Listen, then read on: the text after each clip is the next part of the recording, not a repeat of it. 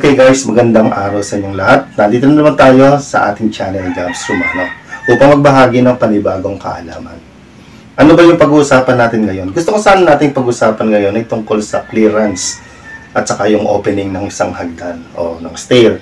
Gaano ba dapat kataas ang clearance mula doon sa baitang hanggang doon sa sabihin na natin sa biga para hindi mauntog o maumpog at hindi naman nakakaalangan kung aakyat ka and then magugulat ka mababa pala yung kisame or yung pinaka biga na halos maumpog ka na. Pag-usapan natin kung gaano kalaki yung dapat na opening ng hagdan at kung gaano yung taas niya mula doon sa isang step. Kasi meron tayong tinatawag na typical. Kadalasan, pagka nakita mo sa plano, yung design ng stair, makikita mo lang sa plano mismo is yung opening. At tapos naka-cross siya, makikita mo stairwell.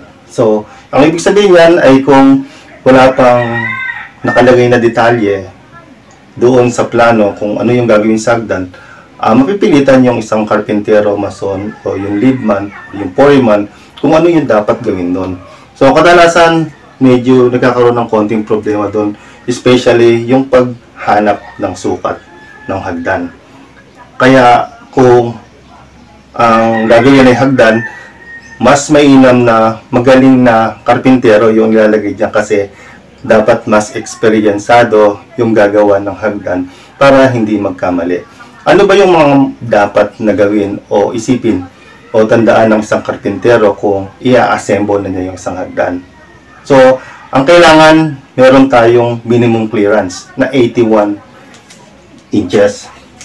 So, yung minimum clearance, kailangan at least 81 inches. Or, pwede sabihin natin na 6 feet and 8 inches. Or in meter, in metric, 2.06 meter. So, dapat clear yan mula doon sa step. Doon sa step na naabutan mo hanggang doon sa tapat ng biga.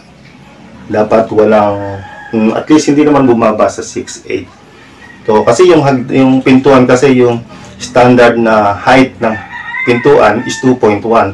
So, kung 2.1, halos 2.1 yung halos katumbas na ng height ng pintuan. So, paano natin malalaman yung height? Paano natin i-layout yung mismong mga steps at saka riser? Halimbawa, meron tayong height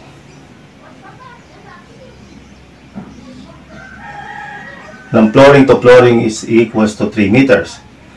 So, kadalasan ito ay decking, ano? Pagka ganito na yung height. Tapos, lumalabas na kontento, yung height ng ceiling to decking mo nasa 2.9 meters. So, high, uh, high ceiling na siya pag decking yung gagamitin nyo. So, halimbawa, lagyan na natin to ng steps. So, kung ito na yung flooring, lagyan natin ng flooring.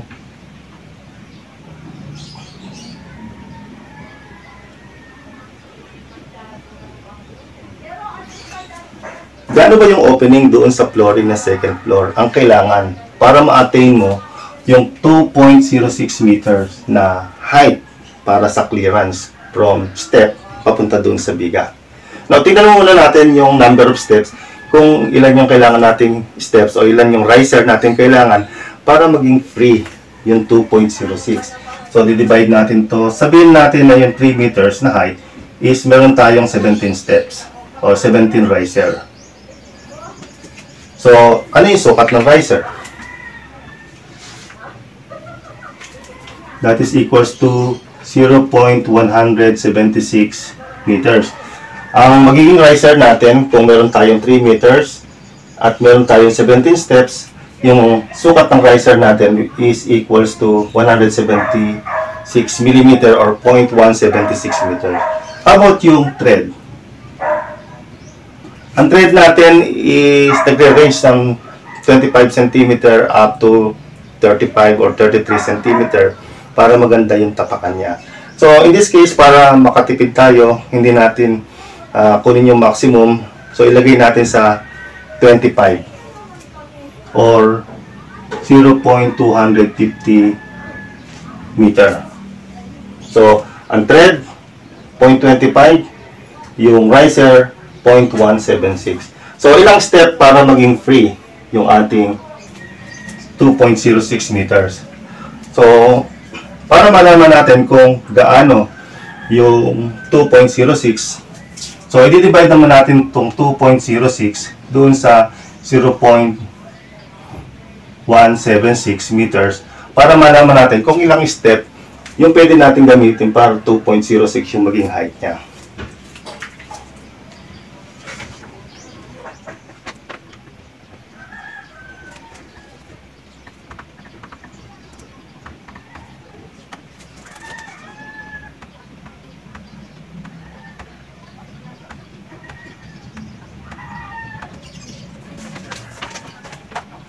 Eleven point seven approximately equals to 12 riser. So, bibilang tayo ng 12 riser para sabihin na natin na yung clearance niya is equals to 2.06. So, meron tayong riser na 12 riser. Pag meron ka ng 12 riser, ibig sabihin yan, meron ka ng clearance na 2.06. Pero sandali lang. Halimbawa, meron kayong detail na eto yung beam. Tapos, isang riser na yung beam.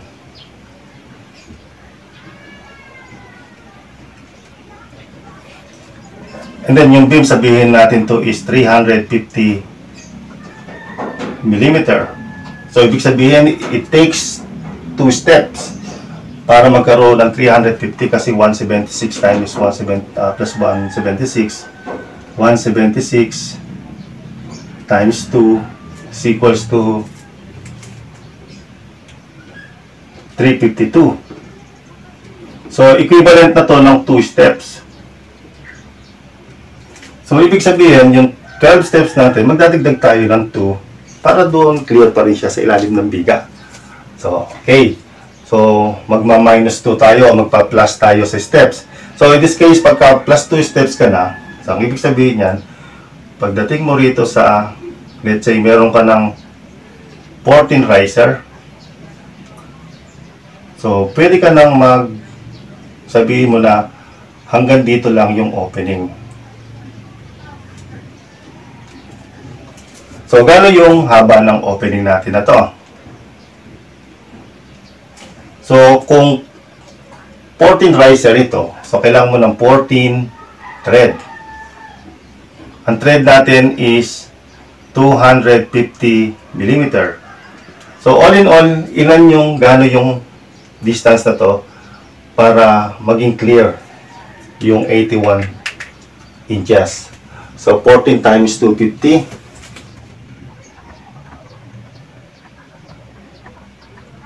3,500, 3,500 mm or equals to 3.5 meters. So, ibig sabihin, kung dire-diretso yung hagdan mo, hanggang doon sa 3.5 meters, ito yung magiging opening natin. Okay. So, iguhitan natin.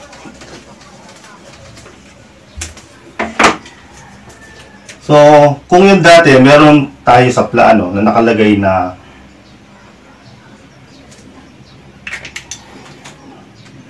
stairwell, ngayon, pwede nating malaman na sukat na ito pala, para magkaroon ka ng clearance na 81 inches, kailangan mo ng 3.5 meters dito. At yung lapad dito, kung gagamit ka ng lapad na 1 meter.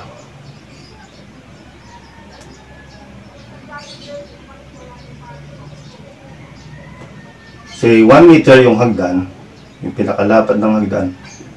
Mas maigi na gamitin mo rito yung total nito is 1.20 meters. Para pagka nagkaroon kayo ng railing makakaikot pa siya roon kung wall man ito So, para mayroon pa rin siyang clearance between doon sa railing hanggang doon sa gilid ng flooring dito. So, ito ay yung 3.5 meters na to, nakakasigurado na tayo na meron ka ng clearance na 2.06 meters. Nabawas na natin yung biga na equivalent sa dalawang steps. So, okay?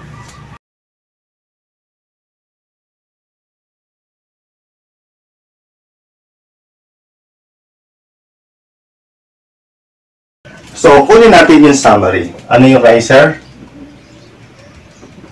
176 millimeters. Ano yung thread?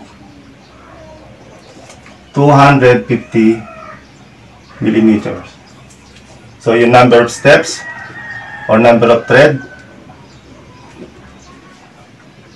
uh, number of thread, uh, riser, I mean, riser is equals to 17 riser. So, ano yung sukat? Yung size ng ano, opening. Yung opening,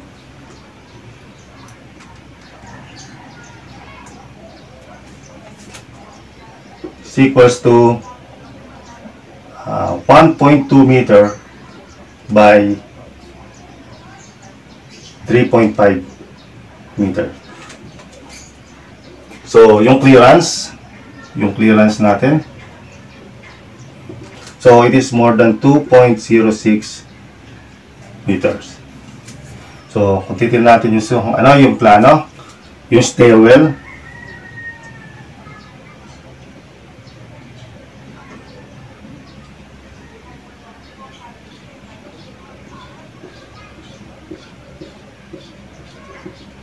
That is, itong naka-open na to dito, umabot siya ng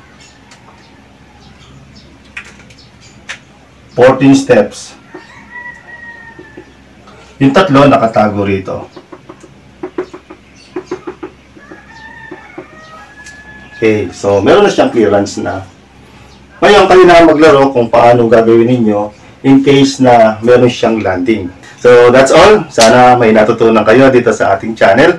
At uh, sa susunod ulit, magbabahagi ako ulit panibagos dito sa hagdan kasi lapat tayo doon sa reinforcement. Okay, maraming salamat sa inyo lahat. Kung hindi pa kayo nakasubscribe, please subscribe, like, and hit the notification bell. Thank you very much.